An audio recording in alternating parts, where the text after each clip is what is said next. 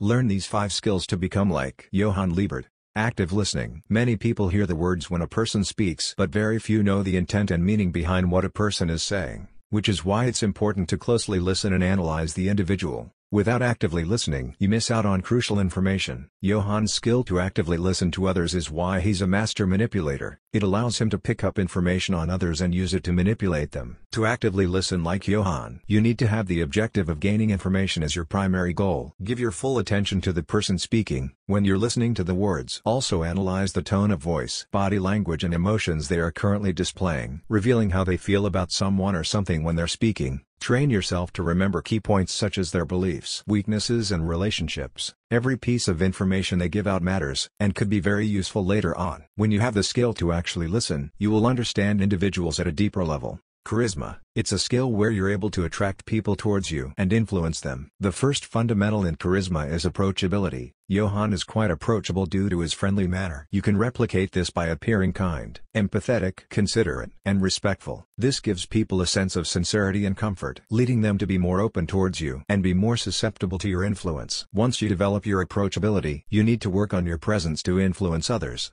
In order to have an influential presence like Johan, you need to embody confidence, mysteriousness and eloquence. This unique expression makes you an object of intense influence. Many people will simply trust you due to the distinctive powerful character you're displaying.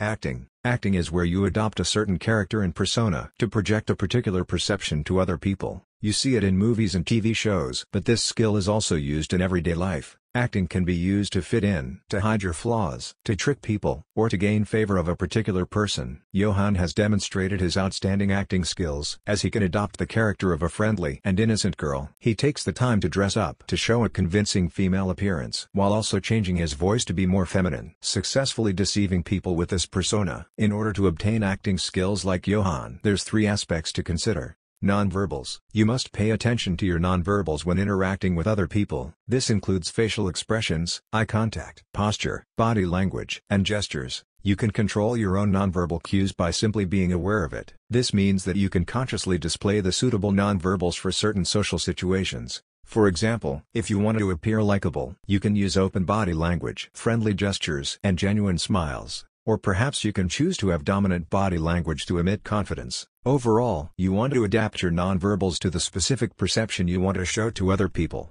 Method acting. This is a technique used to emotionally identify and embody the character you are going to portray. Have a specific character and personality within your mind. Then actually think and feel like this character. This requires a high amount of self-mastery. And you must consciously put yourself in the right mood. You do this by imagining how and why you should feel the emotion specifically towards a person or situation. You can also recall from your own experience that cause certain emotions. Then using those emotions to put on a performance. You're basically training yourself to put on the proper emotions on command. Just like Johan can. When he puts on a sad expression and shedded some tears. Making it seem like he cared about him. It requires a lot of time and effort to put on skillful acting like this. By practicing method acting, you can make your acting seem genuine. Sanely qualities. There's many traits that you can choose to display in your acting, but one of the best appearances to display is being a good person simply because it never goes out of fashion. You basically embody what is considered good and positive by most people currently. In modern times, this means appearing open-minded, generous, honest and humble. Even though many of these qualities can be stimulated, people see it as authentic and most of them don't suspect anything.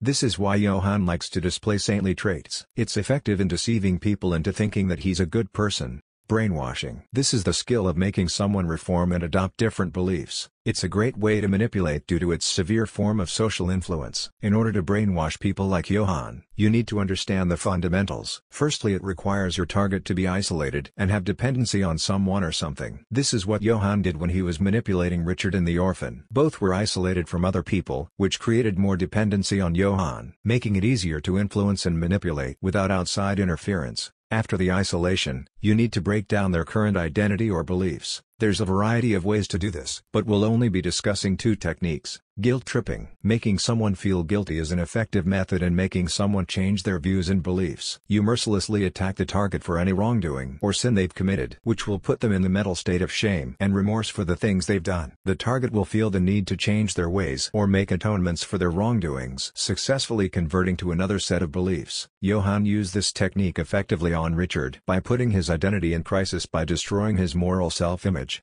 Questioning With this technique, you ask questions that make them question their own beliefs. It's not necessary for them to provide an answer. The questioning you're doing is for the purpose of making them ponder, poking holes in their own beliefs and slowly making them see the flaws in what they currently believe. Johan uses this very well on an orphan. The orphan believes he will find his mother, but Johan plants the idea that he might be wrong by asking him questions that the kid can't logically provide an answer to. Questions such as, How will you find your mother when you don't know what she looks like? Did your mother leave because she hated you? Do you think you were wanted? The questioning slowly destroys his beliefs and converts to something different over time. Eventually the orphan realizes that he will never find his mother.